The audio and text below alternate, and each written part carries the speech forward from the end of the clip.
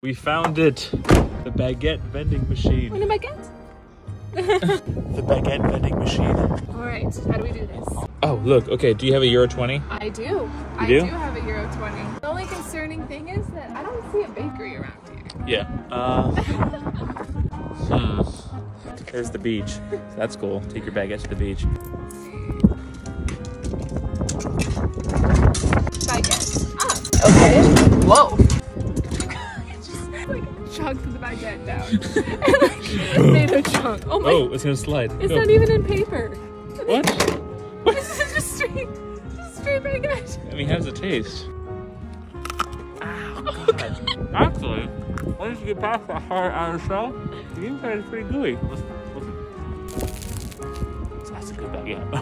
Baguette vending machine. The easiest one that we've used so far, and not bad. Still prefer going to the bakery though, I must say.